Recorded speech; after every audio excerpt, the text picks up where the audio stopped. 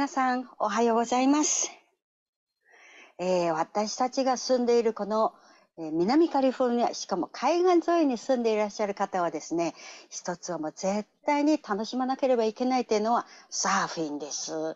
で、サーフィンってね、若者ばかりのゲームと思ったらダメですよ。お年寄りでも誰でもやれるはずです。お水とかビーチにね、あの、楽しめられる人だったら誰でも。で、そこでですね、実は台、あの、日本人グループの beachgoer、サーファー、サーファーズたちがいらっしゃるんですよ。それも数十年前からそれをオーガナイズしていらっしゃるご夫婦がいらっしゃいましてねですね、今日はね、その奥様、恵美子さんをゲストに迎えましてお話を伺いたいと思います。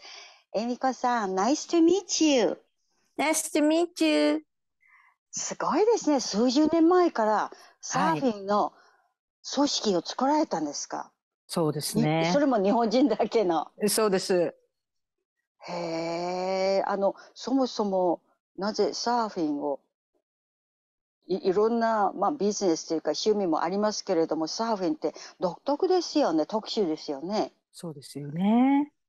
あの、私みたいな金槌の人は絶対ダメだと思うんですけど、どうでしょそうですね。あの、まあ、主人がサーフィンレッスンも行っていますので、全く初心者の方でもサーフィンを楽しめるかと思うんですよね。うあの、泳げない人でも？はい。あの、足のつくところでやりますので、大丈夫ですあよあ、。そうか。うん。そういう手もあるんだ。そうですね。はいはい。行きたいな。その話聞いて自信がつきました。そうなんですか。はい。でですね、はい。えっと、数十年前で日本人がビーチでサーフィンをなさるってほとんど聞きませんよね。そうですよね。ご主人さんと恵美子さんはどういう思いでそれをスタートされたんですか？あの、まず主人と、まあ、友達、先輩と、そうですね、その当初、10人ぐらい集まって、サーフィン大会をしてみようかってことが始まりだったんですよ。んそれも日本人だけのね。日本人だけの。へで、その頃は本当にビーチを借りるというよりか、仲間内でサーフィン大会をやるっていう形でやってみたんですね。ーで、それがまあ2年、3年と続きまして、今に至ってるんですよ。今年で34回目になります。わあ、あっという間ですよね。うん。恵美子さんが10歳の時かな。もう三十数年も日本人のサーフィン大会なさってらっしゃるんですか？そうなんですよ。もう本当に、あの、年々年々、あの、大きくなりまして、協賛していただいているスポンサーも増えましたし、エントリーする方、選手も去年は170名いらっしゃいましたね。そう、それはそ、それこそ、あの、ビーチのところに、こう、まあ、貸し切りじゃないけれども、あそこはもうあの時間帯の中で日本人のサーフィン大会しか使えない。他の人も、まあ、勝手に入ってきたらおかしくなっちゃうんでしょうから、そういうことですよね。そうですね。ビーチを、あの、貸していただくのに許可を得てますね。百何人って一斉にサーフィンしだしたら目まぐるしくて誰が何何やら分かりますか？私には全然それ分からないけど。審査員が、あの、いますので大丈夫です。ああ、そうなの。やはり人数が多いので、朝からもう本当に、あの、夕方まで一日かけて、あの、やりますね。うん、じゃあいっぺんに百何人が出るんじゃなくて、例えばうん5、6人ずつ、はい、次のチーム2、チーム3ってこんな感じで出ていくわけ、でそうですね。あの、うんあの、年齢によってこう、あクラスが分かれてるんですよ。そうか、そそううか、そうか、うんそうか。で、ね一つのグループがだいたい、まあ、5、6人ですね。で、勝ち上がっていくトーナメント形式ですね。おー勝ち抜き式みたいなもんですよね。はい、そうですね。じゃあ子供組の中の優勝したと、大人のお年寄りのその優勝した人と最後の最後で決勝戦やるわけですか。あそれはね、全く、あの、一緒ではなくて、子供は子供のクラスがありまして、で、年齢うん別でまたあるんですよ。じゃあそれぞれの年齢層で優勝者、はいはい、この人優勝者、はい、あの人って感じですか？そうですね。おーなるほど、なるほど。でですね、審査員って何を見て審査するんですか？あのですね、うんそこはとっても難しいと思うんですけれども。まあ、あの、波の大きさもあるんですね。大きい波、小さい波。おうん、ーあとは、やはりその、まあ、長く乗るっていうのもそうなんですけれども、その中で、技ですね。サーフィンの技を、どのぐらい難易度が高いものをできるかで点数が変わってきますね。あの波の上でビヨンビヨンビヨンビヨンってこういますよね。うん。へえ、じゃあ波の高さとかあれも結局狙わなければいけないですよね。そうですね。うん波を選ぶっていうのもすごく、あの、試合では必要ですね。でしょうね。ん普通平々凡々の波だったら誰でもできるけれども、ハワイみたいなこんな波でもあれば、うん。それをその中ずーっと抜けていけるってもう最高ですよね。そうですよね。なんかできない人が偉そうなこと言ってるんだけど。えー、それで、えー、30数年前からあの時5、6人で今もう100何人ですか。そうなんですよ。本当にもう皆さん毎年この大会にあの出るために日々練習している方が大勢いらっしゃるっていうことで、まあ私たち主催する側もありがたいし嬉しいですね。うん。あのーもちろん出場者は、ここ南カリフォルニアだけではなくて、なんと日本からも参加者がいらっしゃると伺ってますけど。そうなんです。毎年日本からもいらっしゃいますし、ハワイからもいらっしゃいますね。ハワイね、はい。要するに綺麗な、なんていうかな、ビーチで、綺麗な波、いい波があれば、世界中どこでも、日本人であれば誰でも参加することができるということですね。そうですね。で、私たちがその住んでいるサンクレメンテっていう場所は、サーフィン大会をやる場所なんですけれども、もう本当に世界有数の波が立つところで有名なんですね。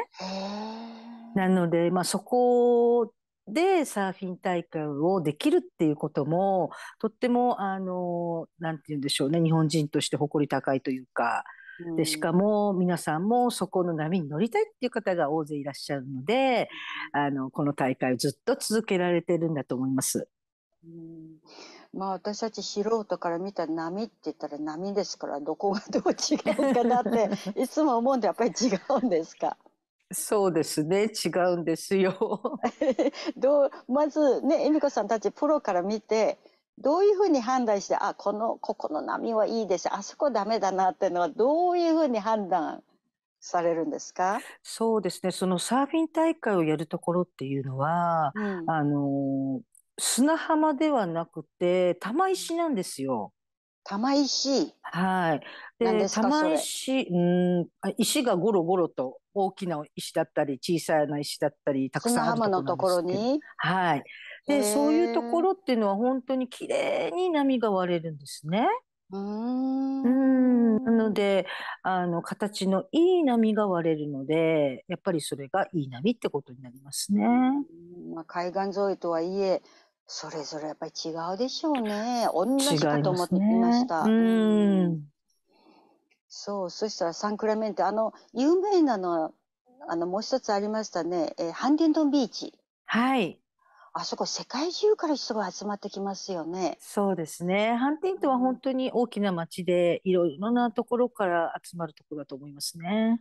うんじゃあ例えば何ビーチニューポートビーチとかラウナビーチとかダメだなって恵美子さんから見てやっぱりダメなところは ダメですか？うん、でもやはりその、あの、南カリフォルニアのいいところっていうのは、はい。波質によって初心者だったり、まあ子供向けだったり、上級者向けだったり、いろいろ、まあ暗黙の了解ですけれども、分かれてるんですよ。へえ、うんじゃあ、恵美子さんたちがなさってらっしゃるサンクラメンテは、それこそ小学生の子供から70、80のじいちゃんばあちゃんでもできるっていうところですよね。そうですね。そのサーフィン大会をやる玉石のところは割と、まあ、中級者だったり上級者だったりが普段入ってる場所なんですね。へうえ、んこれはこれは、はい。で、サンクレメンテと言っても、うん、あのまあ、他に玉石ではない砂浜のビーチブレイクっていうところもあるので、うん、そこはそこでまた、あの、小さな子供だったり、初心者の方だったり、まあ、家族の方で、あの、遊べるビーチですね。そういうところもあります。うん。じゃあ、やっぱり、もう私見てんな、あの、おばあちゃんが、やってみたいと思ったら、まず、恵美子さんに、どこのビーチがいいですかって、まずそれを伺ってから行かないといきなり 上級の人がいるところだともう水没しますよね。そうですね。ちょっと危険ですよね。おお、なるほど、なるほど。あとはやはりその、まあ、年齢のこともありますけれども、うん、初めてサーフィンされる方はレッスンを受けていただくっていうのが、あのー、早く上達する道かなって思いますよ。それはそうですよ。だって、うん、70歳のおばあちゃんでも大丈夫ですか？大丈夫ですよ。つきっきりで、あの、マンツーマンで、あの、レッスンしますから。うわ長生きしててよかったですね。私ってね、うん、私ってね、やったことないこと、人が楽しそうにやってることは自分もやってみたいってものすごく好奇心の強い人なんですよ。素晴らしいことですね。うん。ずうずしいけどね。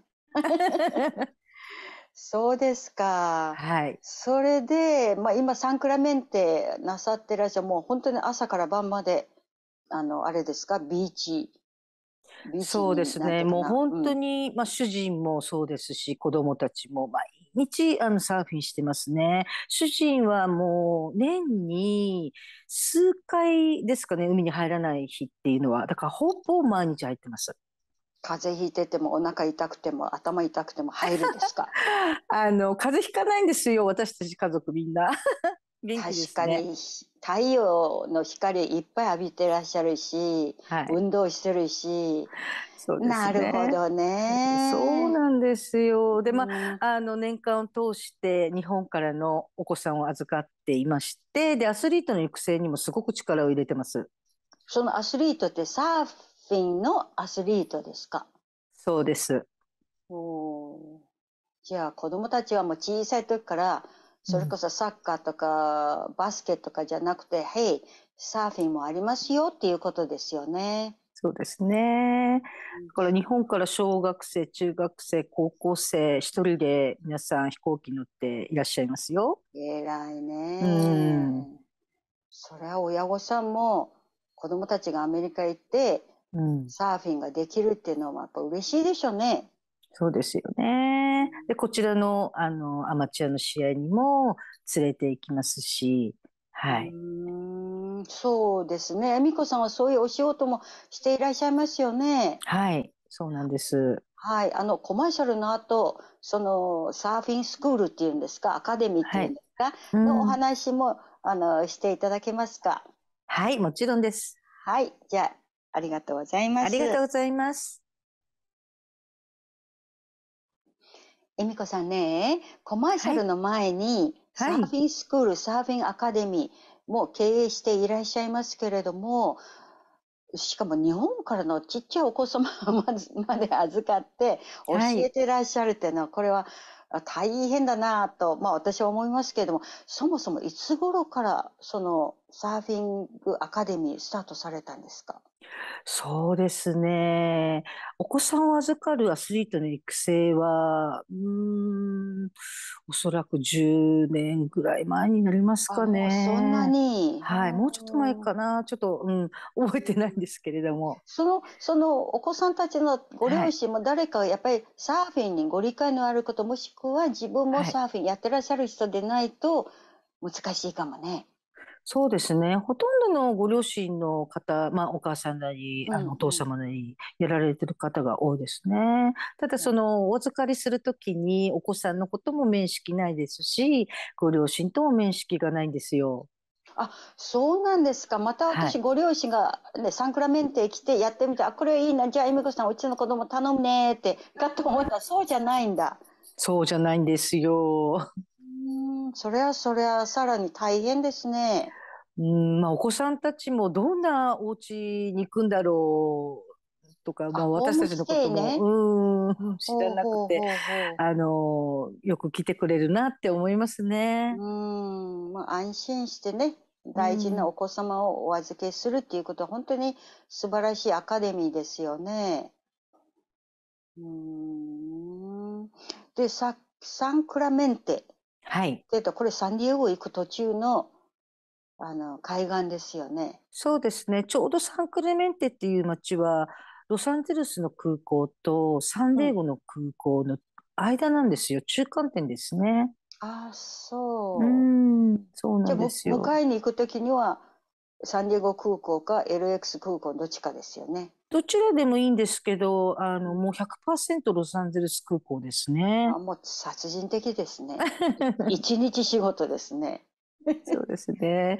えーあの、空港の送迎も月に、そうですね、4、5回はありますかね。これってあの、まあ、アカデミー入入学っていうんですか？入りました大体コースとしては何日間とか何週間ですか？それはもう本当に、あの、お子様の希望の期間を預かりますね。長い子ですと、先日まで滞在してた子が4ヶ月いました。へえあのサーフィンってどんなに寒くても、うんまあ、暑くても分かりますけどどんなに寒くてもあの着てるあのウェットスーツっていうんですか、はい、そうですあれね。さえあれば寒くてもどんどん入れるっていうことでしょうね。入れますね。まあ、冬でももううん毎日入ってますね。うんやっぱり温度違いますか？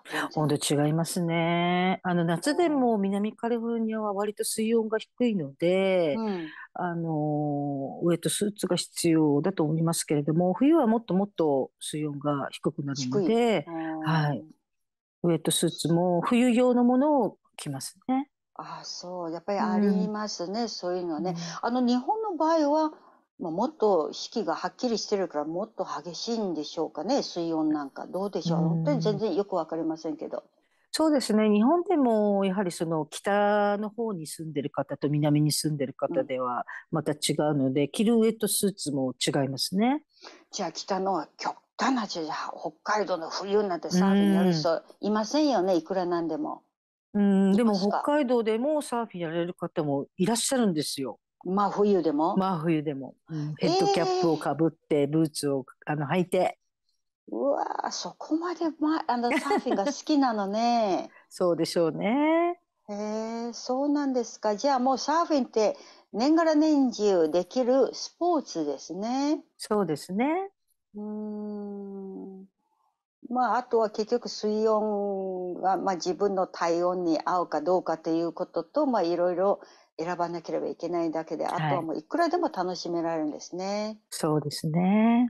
へえそれからね、あの、サーフィンボードってありますよ。この長い。うんあれって、あの、なんかサイズありますの？あの大中小とか。そうですね。あるんですよ。あの、ショートボードって言われるものと、まあ、すごく長い9フィート以上の板のことをロングボードって言うんですけど、まあ、2種類ありますね。うんうんうんうん。で、これは別に初心者とか、あれじゃなくても、どうやってショートボードを選んだりして、ロングボードを選ぶんですか？あの、ショートボード、まあ短い板になればなるほど、うん板の上に立つのがすごく難しいんですバね。ランスをね。うんそうなんですよなのでまあえっと、私たちが生徒さんにササーフィンスクールで教えるときは、だいたい8フィート、まあ、7フィートぐらいから8フィートぐらいのサーフボードを使って教えるんですけど、そうするとやはりその早く立てるようになりますうね。んなるほど、なるほど。うん安定性があるから。これって子供も同じことですか？そうですね。お子様もやはり、まあ、あの、小さいけれども、大人よりは小さいですけれども、まあ、ある程度長めの板を使う方が早く板の上に立てて、上達も早いですね。まあ、常識から考えてみてやっぱり安定性のある板の方が、ねあの、うん滑りやすいじゃないわあれなんてなりやすいっていうの？あのサーフィンの場合は。そうですね。あの滑りやすいっていう滑りやすい、そうですね。えーまあ、乗りやすいそうなんだですよね。波の上にこう滑りやすいっていう。うん。へえそうなんだ。そうなんです。うんそうかそうか。じゃあ今度今8月あ9月ですねこの番組放送する時にも9月入りますけど、今度の恵美子さんたちのの、えーサーフィン大会っていうんですか？はい。はいつ頃ですか？確か秋頃と伺ってますけれども。そうです。今年は10月16日の日曜日です。おー、一日。1日です。張朝から夕方まで。そうでビーチすよ。ね。はい。え、何時から、あ、一日全部日本人がそのはい。ビーチのところを使えるわけですね。そうなんです。おー、じゃあ、だいたい試合が始まるのが7時から7時半ぐらいの間にスタートするんですね。で、えー終わるのが、まあ、表彰式もビーチで行いますので、本当に夕日を見ながら表彰式をして終わるっていう感じです素敵ですね。ね。あそこでバーベキューもできますの？うーん。バーベキューはでも、もう時間がないんで できないですけど。私もあのサーフィンよりもなんか食べ物のことばっかり頭の中にあるんだけどあそうなんですか。それで日本からはい。全米から他は日本人でどこから来てますか、うん、あとは東海岸だったり、まあ、はい、カリフォルニアでも北ですよね。サンフランシスコの方からも、はいはいうん、何人かいらっしゃいますよ。